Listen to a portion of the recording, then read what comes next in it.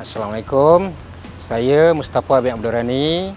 Ah, jawatan saya pembantu takbir atau yang jawatan lamanya kira pengawas lah ataupun penyelia.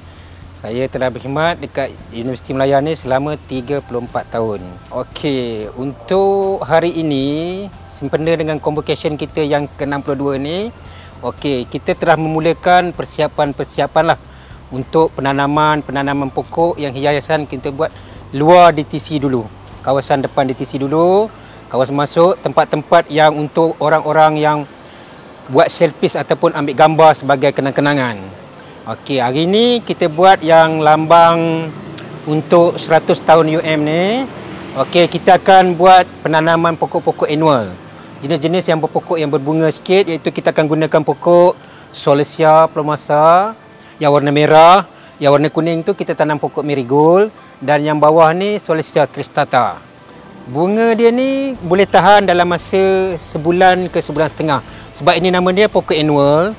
Pokok annual ni dia jangka hayat dia cuma 3 bulan ke 4 bulan sajalah.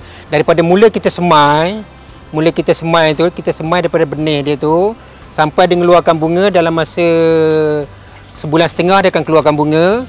Lepas itu nanti dalam lepas sebulan setengah bila keluarkan bunga, bila kita tanam tempat kekal macam ni, dia boleh tahan dalam masa sebulan setengah saja. Ha, cukup masa 3 bulan memang Lepas itu nanti kita akan tukarkan pokok yang lebih kekal. Ha, kekal yang berdaun tapi kita akan tanam yang jenis-jenis yang ada color lah. Ha, kita tak mau yang hijau saja. Kita tengoklah kita akan ambil warna kuning, warna merah. Ha, jadi pokok tu mesti ada color lah. Yang ada color lagi dan nampak menarik. Yang dalam tu cuma nanti kita lagi 2-3 hari untuk convocation memang kita concentrate dekat dalam. Ha, yang untuk lagi 2 minggu nak convocation ni kita memang concentrate dekat luar ha, kita buat untuk dalam dalam pintu masuk tepi-tepi bangunan daripada, daripada segi-segi landscape apa semua kita akan buat lah semua. Bunga yang berdaun tu kita pakai sendiri. Yang jenis-jenis yang berbunga ni kita cuma beli sikit lah. Ha, itu saja. Kita beli sikit sajalah. Kenangan manis tu macam macam biasa lah kita kerja memang tiap-tiap tahun. Rutin kerja kita memang macam ni lah. Kira biasa lah sebab bila kita dapat menghasilkan sesuatu yang kalau kalau bunga hiasan pentas tu kita guna bunga-bunga keratan. Yang itu hasil je lah amat-amat memuaskan. Lepas itu daripada segi orang pun cakap terbaik kita rasa itu satu kenangan yang indah lah pada kita hasil kita kerja. Sebab bila kita cocok bunga tu memang kita melibatkan sampai pukul 2 pagi ke 3 pagi untuk hiasan pentas tu nanti. Ha.